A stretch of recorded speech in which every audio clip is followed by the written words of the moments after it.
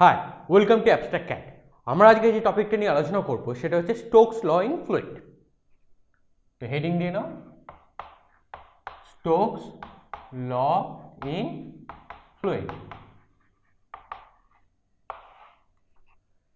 তো Stokes law কি বলছে? ধরো কোনো বডি ঠিক আছে, একটা সারফেসের মধ্যে থেকে নিচে ফেলে দেওয়া হলো। যেমন ধরো, একটা বিকার যার মধ্যে ধরো জল আছে, আমি বডিটাকে নিচে এই জলের উপরে ফেলে দিলাম। দেখব যে কিছুক্ষণ পর এ নিচে পৌঁছে যাবে। বাট একটা টাইম লাগবে।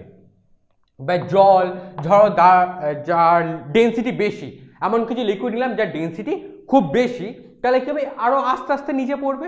যার ডেন্সিটি যার কম এই তখন তাড়াতাড়ি নিচে চলে আসবে। এবার যখন এর নিচে নামছে ধরো যে লিকুইডটা থাকবে আইদার লো ডেন্সিটি আর হাই ডেন্সিটি এ কী করবে? এই ধরো এরম একটা জায়গায় চলে এসছে জলের মধ্যে, তখন একে কি করতে হচ্ছে? এই সারফেসগুলো একে বাধা দিচ্ছে একটা রিটার্ডিং ফোর্স থাকছে একটা। কারণ এই লেয়ারগুলোর মধ্যে একে বাধা হয় বা কাট করে বেরিয়ে আসতে হচ্ছে। ঠিক আছে? তাহলে আমি কি দেখতে পাচ্ছি? যেমন ধর বৃষ্টি, যখন উপর থেকে জল পড়ে, কি একটা কাট করে আসতে হয়। যেমন ধর বব এই পেন্ডুলাম যখন মুভ করে, এটাও একটা কি এয়ারকে কাট করে একটা এরিয়া বা ধরো কোনো এয়ার তাকে কাট করে এগিয়ে যেতে হচ্ছে। ঠিক আছে? সেরকমই একটা লিকুইডকে কাট করে এগিয়ে নিচে আসতে হচ্ছে। মানে একটা অপোজিট ফোর্স থাকছে। তাহলে কি দেখতে পাচ্ছি আমরা?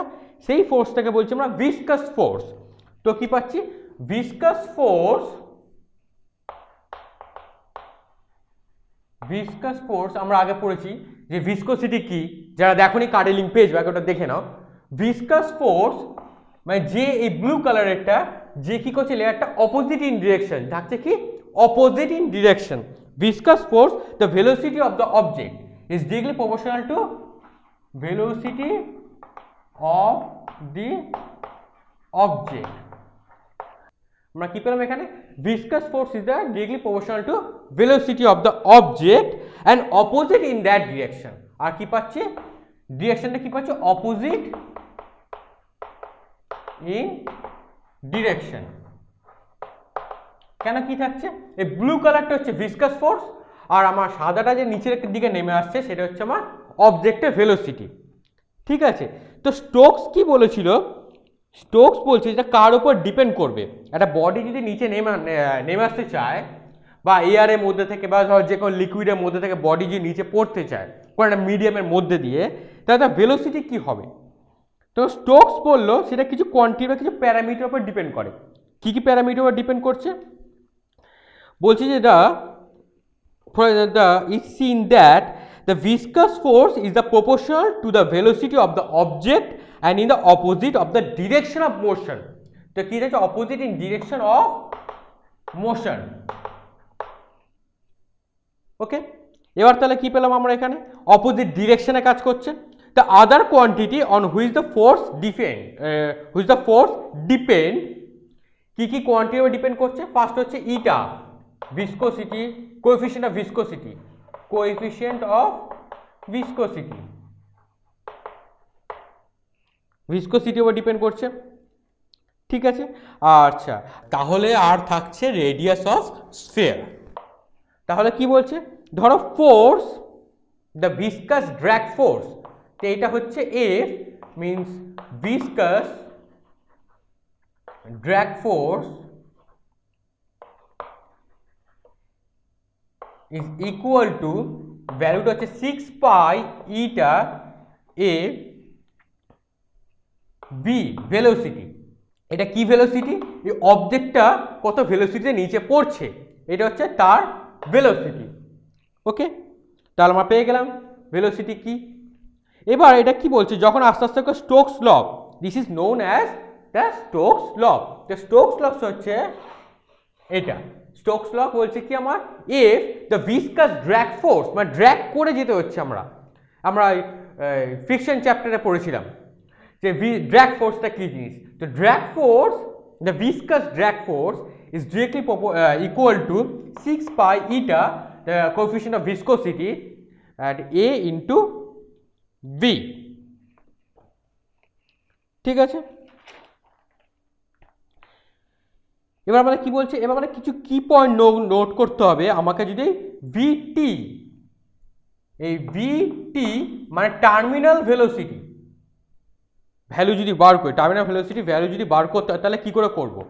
এবার ধরো যখন বৃষ্টির জল বা আদার্স কিছু অবজেক্ট উপর থেকে নিচে পড়ে তখন কীভাবে পড়ে? প্রথমে কী থাকে? ডিউ টু গ্র্যাভিটি আস্তে আস্তে করে তার কী হয়? স্পিড বাড়তে থাকে। এবার যত নিচে নামছে ভিসকাস ফোর্স তাহলে কী থাকছে ড্র্যাগ ফোর্সটা ততটাই বাধা দিচ্ছে একে। এর নিচে যত নামছে অপোজিটটা ততটা বাড়বে এবার। তাহলে কি পাচ্ছি? তা ফাইনালি কি হচ্ছে? না velocity increase the retarding force also increase যখন ভেলোসিটি ইনক্রিজ করছে রিটার্ডিং ফোর্স অলসো ইনক্রিজ এবং ফাইনালি কি পাচ্ছি? Viscous force plus buoyant force is become equal to the force due to gravity তা কি পেলাম viscous force plus buoyant force is equal to force due to gravity তাই যতটা নিচে নামবে ফোর্স বাড়ছে। তার viscous force plus buoyant force মানে অপোজিট যে ফোর্স ঠিক আছে? Buoyant force equal to force due to gravity তাহলে কি পেলাম? Viscous force plus buoyant force এবার পড়ে থাকছে ফোর্স ডিউ টু গ্র্যাভিটি তো ভিসকাস ড্র্যাগ ফোর্স আমরা কি পেলাম?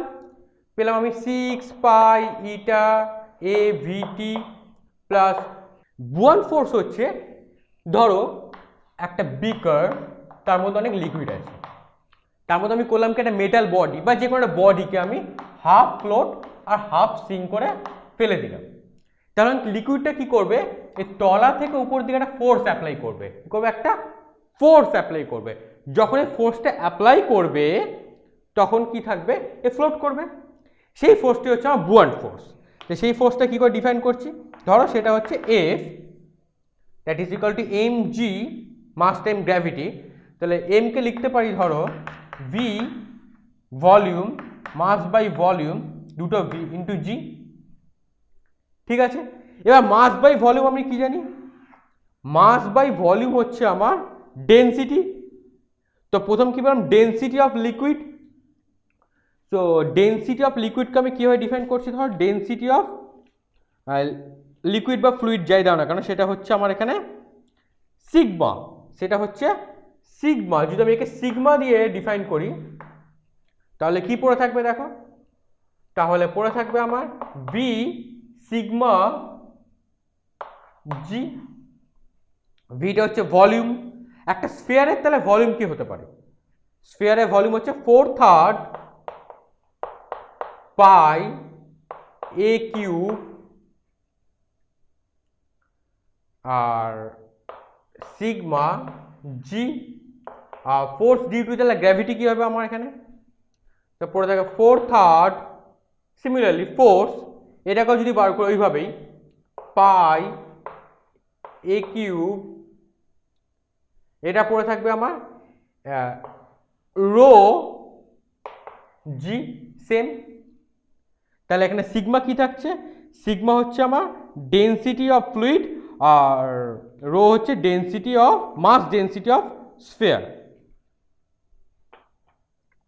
এটা হচ্ছে মাস ডেনসিটি অফ স্ফেয়ার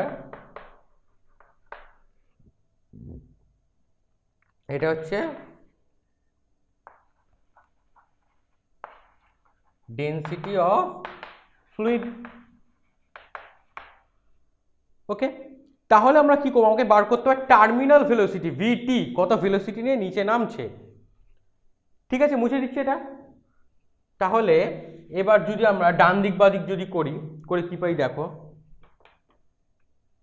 তাহলে পাচ্ছি six pi eta A VT equal to four third A cube four third pi A cube four third pi R cube মানে volume volume of sphere আর যদি এখান থেকে পড়ে থাকছে,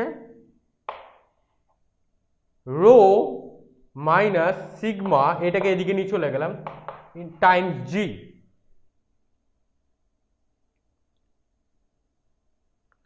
ঠিক আছে? এবার যদি কাটাকাটি করি, তাহলে কি পড়ে থাকবে দেখো? এটা টু দিয়ে কাটলে হচ্ছে আমার থ্রি এটা টু দিয়ে হলে টু এই পাই এই পাই কেটে গেল। এখানে এ স্কোয়ার হয়ে গেল। তাহলে ভি টি তাহলে আমি কি পেলাম? ভি টি পেলাম two A square rho minus sigma into G by three আছে three into three nine nine eta তাহলে টার্মিনাল ভেলোসিটি পেয়ে গেলাম। তাহলে কি পেলাম? না terminal velocity V T depends on the square of the radius of sphere তো স্ফেয়ারের রেডিয়াস তার স্কোয়ারের উপর ডিপেন্ড করছে।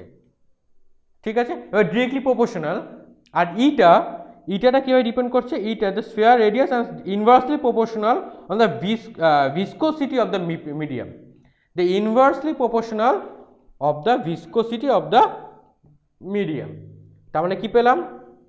দুটো কী টার্ম একটা হচ্ছে terminal velocity directly proportional to a square and terminal is also uh, inversely proportional to eta. ঠিক আছে? তা টার্মিনাল ভেলোসিটি কীভাবে বার করবা? কি জিনিসটা ক্লিয়ার হলো? মানে কতটা ভেলোসিটি নিয়ে নিচে নামবে? তার মানে দেখতে পাচ্ছি viscous sorry coefficient of viscosity coefficient of viscosity যত বেশি হবে টার্মিনাল ভেলোসিটি তত কম হবে। আর কোএফিশিয়েন্ট ভিসকোসিটি যত কম হবে টার্মিনাল ভেলোসিটি তত বেশি হবে। ঠিক আছে তাহলে স্টোকস লটা ক্লিয়ার হলো। স্টোকস লর কনসেপ্টটা কি বলছে? ঠিক আছে। আর যদি বুঝতে অসুবিধা হয় কমেন্টে বলবে কিন্তু, আমি কিন্তু আবার বুঝে দেবো। তো আজকে ক্লাসটা এখানে শেষ করলাম। যদি কারোর কোথাও কোনো অসুবিধা হয়ে থাকে কমেন্টে বলবে, আমি কিন্তু আবার বুঝিয়ে দেবো। তো চ্যানেলটাকে সাবস্ক্রাইব করবে রেড বাটনটা প্রেস করবে বেল আইকনটা ক্লিক করবে। আর ভিডিওটাকে যত বড় বন্ধুর সাথে শেয়ার করো। আর দেখা হচ্ছে নেক্সট ক্লাসে থ্যাংক ইউ